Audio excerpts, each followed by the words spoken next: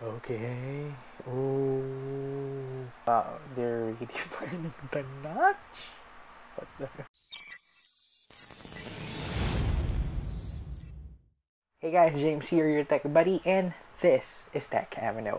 For today's special video, I will be reacting and sharing my thoughts on the Apple September 2022 event and what are the things or products we'll be launching today. But of course, the main highlight of this event is none other than the iPhone 14 and 14 Pro series. Let's see also what else are announcing today. So this will be my unfiltered and raw reaction. Of course, if you enjoy watching this video, don't forget to like and subscribe to our channel to get you notified when a brand new video will come out. Of course, you can follow us on our social media accounts on Facebook, Twitter, Instagram, and on TikTok at Tech MNO. So let's find out. Right, so we are done with the Apple event today. Uh, well, actually, here in the Philippines, it's already midnight. It's already quarter to three in the morning.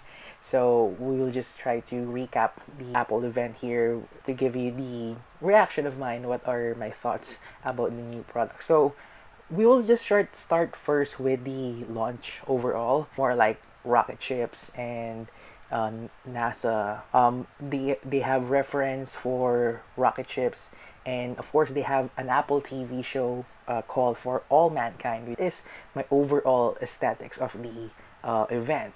So let's start first with Apple Watch. So Apple Watch they have two Apple Watches right now. Actually, they mentioned three, but it's only the third one is just an update. So let's start first with the Apple Watch Series 8 uh, actually this just uh, this new name but the casing or the design is just the same. There are some new features on the newer ones that I will be giving here. So first they have an always on display right now. And of course this is much larger display on their watch right now. So yeah already expecting that but we thought there will be a new design have a new temperature sensor and ovulation temperature sensor. If uh, it's much um, in demand right now or at least it's capable for the current current situation here in the world because we're still in the pandemic nothing else about to talk about the apple watch series 8 and of course the price is still at 399 us dollars. And the next one they talk about is the apple watch se series 2 which for me it actually I saw it's like they just rebranded the Apple Watch Series 5 I think because they are having a more uh, more size display now compared to the regular SE before that. I think it's Apple Watch Series 3 in that matter is priced at around 249 US dollars. And the biggest the biggest launch of the Apple Watch series is the Apple Watch Ultra. But first, can we just mention who the hell put this as an Apple Watch Ultra? I really, um, I really want the Apple Watch Pro naming, but Ultra, uh, it's kind of weird. I know this is uh, Apple Watch Ultra is for athletes or adventurers or some sort of kind of that thing, but I think it's more good in terms of the naming scheme the pro models because of course they are professionals not in the sense of they're of course they're wearing suit and tie about that but uh, pro because they have more things that they will do. So yeah the naming are a little bit off peak to me which is have a new sensors. Of course there's a new button on the apple watch ultra and it's more rugged design of course uh, for athletes and they have a new sapphire screen. And of course the newer display which is more brighter than the regular Apple Watch series of watches. So um, they are now targeting Garmin. If you know Garmin is more on um, sports and athlete style of um, GPS smartwatches. So at 799 US dollars yeah, they are more competitive because I um some of my friends saying Garmin starts at 1200 US dollars. So yeah, I mean I think it's on a good thing, good track, but let's see. I can um for me um is good, but I will not buy it for myself because I'm not an athlete in that matter. All right, so the second thing we were talking about is the AirPods Pro.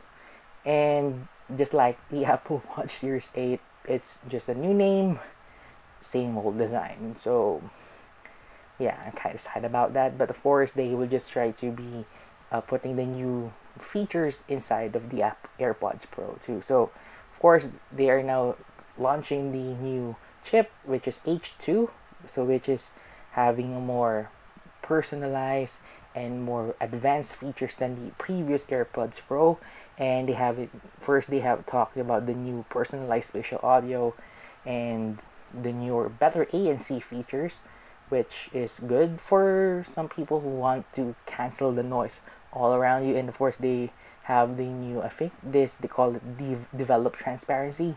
So uh, you can still hear the surroundings around you, but try to minimize the vo- uh, the noise of other things. For example, they are in the video they are uh, sampling this like jackhammer, so they will just try to shut down that jackhammer, but you can still hear what the surroundings around you. So that's good.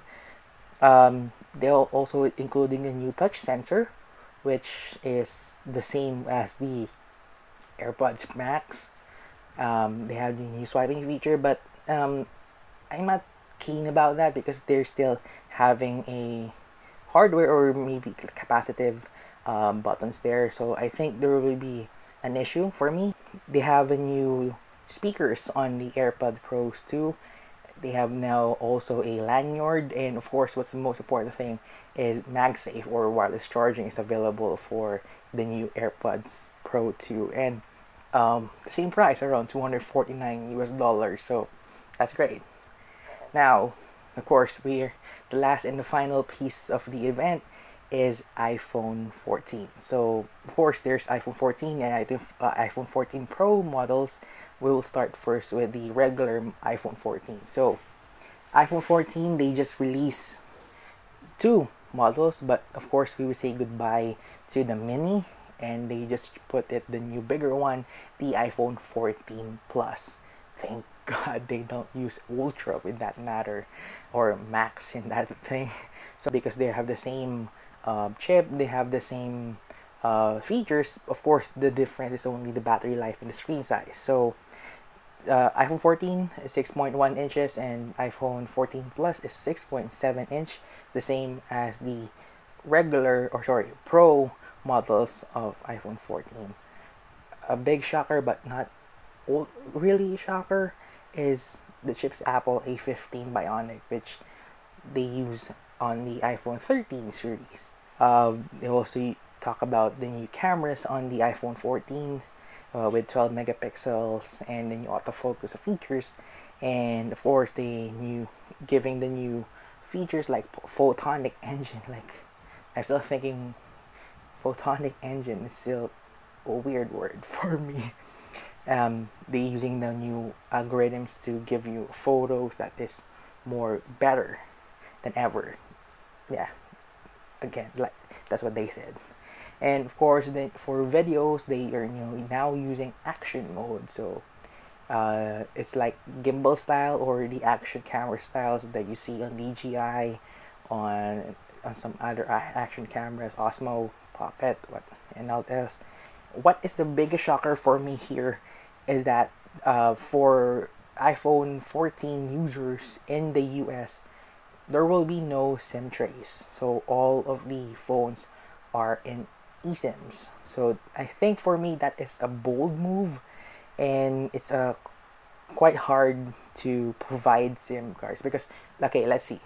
If you are going to let's say a country like here in the Philippines and you're coming from the US, you have an iPhone 14, and of course you need to use a SIM card here in the Philippines to call, text, and just use and use internet. Here in the Philippines, you don't have an option to have an eSIM if you are not a postpaid user. Meaning, if you're just using prepaid SIM cards, you're going physical. That sense, you are having a hard time to use that iPhone here in our country. So that is quite a bold move and it's quite uh, hard to digest for some countries that don't have eSIM supports or have eSIM supports but only have a limited uh, options or limited usage usage for it. So that is quite a hard thing. So the the next big thing they uh, they implemented here or announced is their emergency SOS messages or in other words satellite service. So of course they using antennas to for example using emergency you don't need and you don't have a signal cell phone signal. You will use uh, satellites above to give you signals to for appropriate emergency emergency services like rescues or you know health services for 911 if you're in the US that's good but it's quite sad that it's only for 2 years free and then next couple of years that will be um, paid service. So um, for US maybe it's helpful but for here in other countries in the Philippines um, I'm still thinking about that. So yeah maybe good good feature. Pricing uh, yeah 799 for the regular iPhone 14 which is the same as before but of course the iPhone 14 Plus it is 899 um, the iPhone 14 will be available September 16 and what's weird is the iPhone 14 Plus will be October 7th so yikes. Alright so the other one the last thing is the iPhone 14 Pro and Pro Max so as we expected from the rumors. So of course they showed off the new pill shape cutout and we will talk more about it uh, why for me. It this is of course the star of the show hands down later on.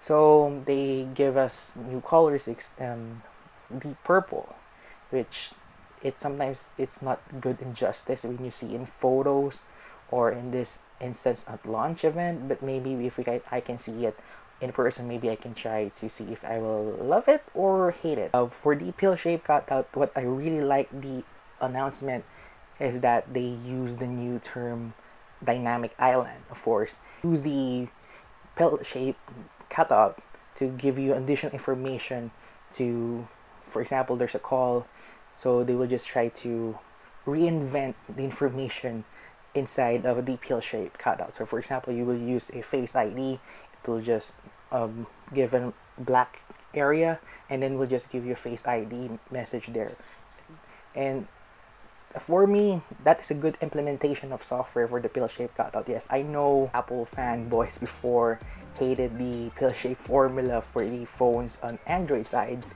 Like for example, for Realme, of course, the Samsung S10 with pill shape cutout. For iPhone, they really try to reinvent that thing, and it's not just an awkward pill shape.